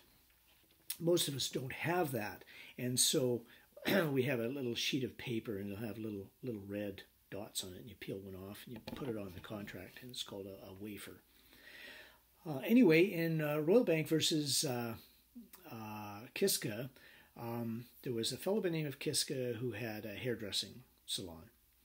And he owed money to the bank and uh, needed an extension of his loan. And the bank said, sure, but we need a guarantor. So that fellow offers his brother, Kiska, uh, and his brother comes in and signs a, a, a guarantee. And, um, and uh, the problem with that, of course, is that the brother is getting a loan, okay, for his business. So he's getting a loan, he's going to pay back the loan plus interest. So there's a binding contract there. But what is the other brother, Kiska, getting for guaranteeing that if his one brother defaults on the loan, he's going to pay? He's not getting anything. Okay? Um, and so um, he signs the, the guarantee, and um, eventually his governor, his brother defaults. And so the bank calls in this fellow signed the guarantee, and they have him in his office in the bank, and uh, they say you have to pay. And he's he's really surprised because he said, you know, when I was signing this, it was like, oh, don't worry about it. It's very unlikely we'll ever have to, uh, you know, uh, go after you on the guarantee, and and and uh, it didn't seem like a big deal. and then he said, and, and, I don't understand, what's this red thing beside my name? Well, when he signed it, they hadn't had not put the red seal on. So he went away. Now they're going to enforce it, and they're going to say, well, you signed it under seal, so no consideration necessary. the young kid is so upset that that he uh, grabs the, the guarantee and he rips it up and he starts eating it and suddenly the bank manager and then the custodian are grabbing him. They're trying to stop him. He's trying to eat it. and finally, they uh, uh, it's destroyed, and so they make him sign another one under seal. Now, obviously, there's a bit of a problem here because it wasn't signed under seal when he signed it. And uh, then when he signed it again, it was kind of under distress, duress, right? Because he's in the bank and they're not let him, going to let him go until he signs it. so anyway, he refuses to, refuses to pay. The bank sues him and they get into court. Goes to the Court of Appeal, and there's three judges sitting, and this is one of those cases that um, should be overruled because the two judges said, um, well, there is consideration which will bind the younger Kiska to the contract of guarantee because the bank forewent uh, their right of suing the older brother. So this uh, foregoing of your your legal right. pardon me, I'm going to have to take a cough candy just to finish this part of the lecture off. Um, the um, uh, the where was I? Um, the bank did not sue the older brother, and for not suing the older brother, this was consideration for the younger brother. Two of the three judges said, um, "Yeah, that's good enough." The third judge, um, Bora Laskin, Justice Bora Laskin, um, was one of our all-time best judges from the Court of Appeal in Ontario went on to sit on the Supreme Court of Canada. Very, very well reasoned decisions all the time. He said, no, that guarantee should not be binding because for a guarantee to be binding, it, the seal has to be on there. This is very important. At the time or before the contract is signed. Remember that for examination purposes. Okay, one second.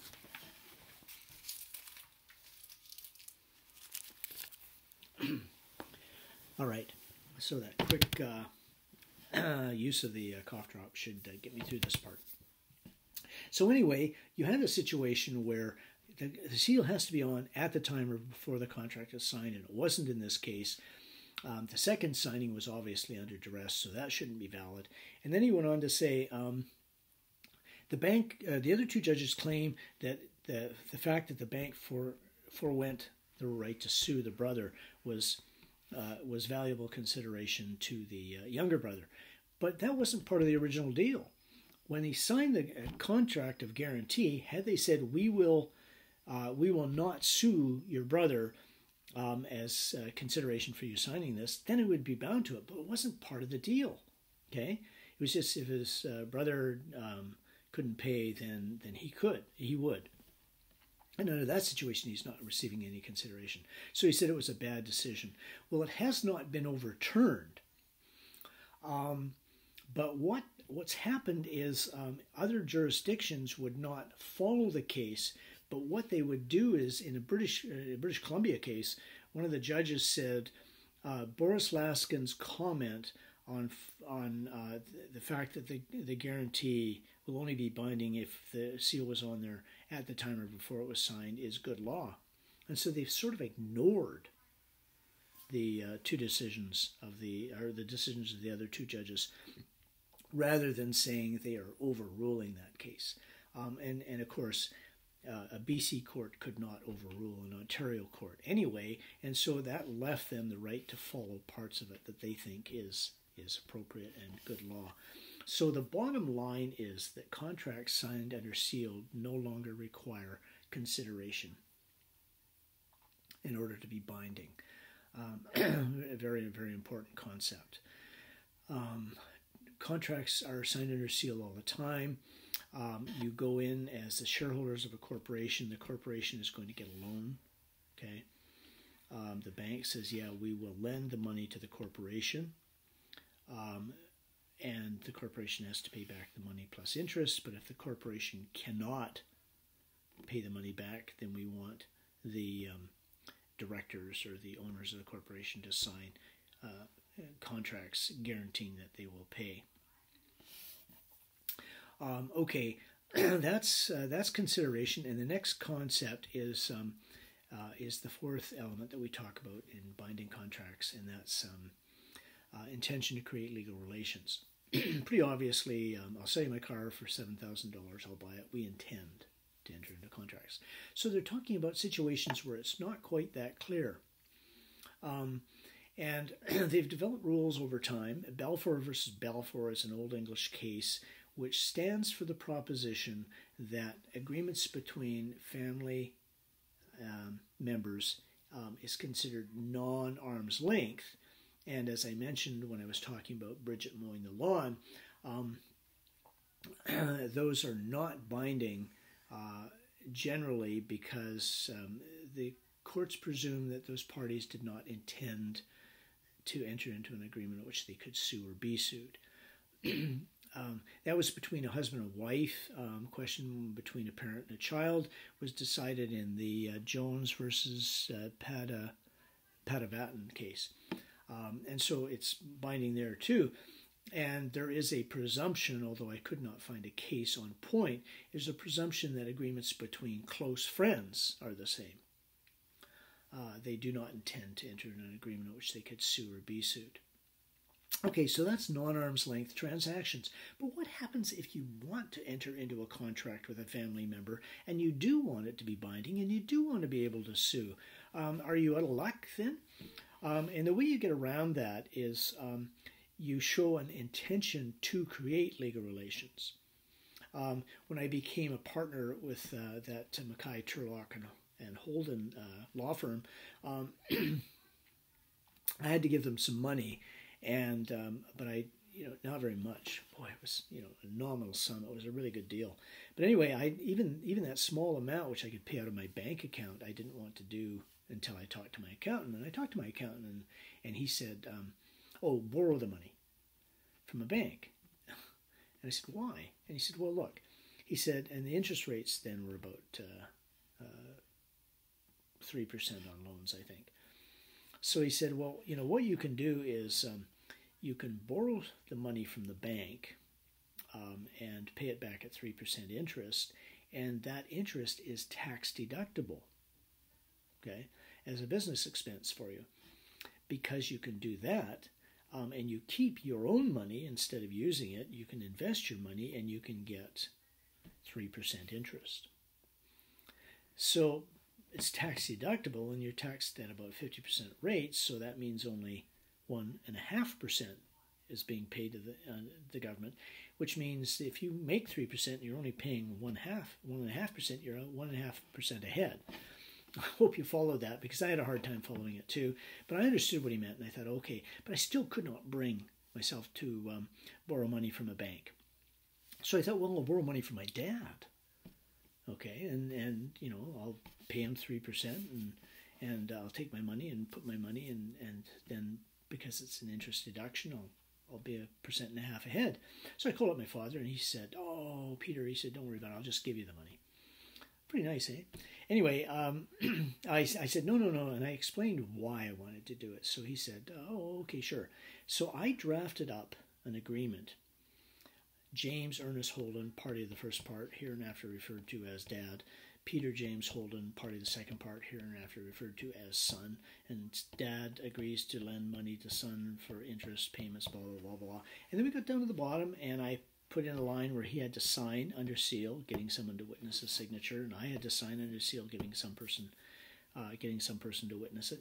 And I did that, and then I sent it off to him with instructions that he should sign both and send my copy back to me, and then he could keep the original. Well, he gets it, and he calls me up, and he goes, Peter, Peter, he said, I got the agreement. You didn't have to do that. I trust you. You're a lawyer. and I laughed, and I said, Dad, um, Two things wrong with that. Number one is never trust a lawyer. That's a joke, by the way. And number two, I would have preferred if you called up and said, I trust you, you're my son. he only trusted his son because his son was a lawyer. Um, that aside, it was a bit of a joke. I explained that uh, that uh, no, I, I needed it uh, formalized. Um, anyway, I sent him post dated checks and I had to phone him up and tell him to cash them, um, eh, which he did. Um, and then I got to the end of the year, and I'm going to file my uh, taxes, uh, my tax return. No, I gave it to the accountant, and I said, "You file it." And the accountant files the tax returns, and then, um, sure enough, the um, tax department denies the interest deduction. Non-arm's length transaction. It's between a father and a son, right? And my accountant sends him in a copy of the agreement, signed, sealed, and delivered. Get another notice back from the government. Tax deduction allowed. So I had to demonstrate my intention to be legally bound to an agreement on which I could sue and or be sued in order to have it accepted by the tax department. Okay, so you can get around that rule. Now, um, arm's length transactions, uh, and and then we'll finish off there, um, and I'll just talk very briefly about the uh, the second chapter. Um, the um, arm's length transactions are between two people who are um, doing business and they're not related or they're not close friends. And um, I, we're going to look at three cases. Uh, the first is uh, Higgins versus Lessig, which is an American case which was for years used as precedent for this concept. We don't usually use it American law, but this one was very clear.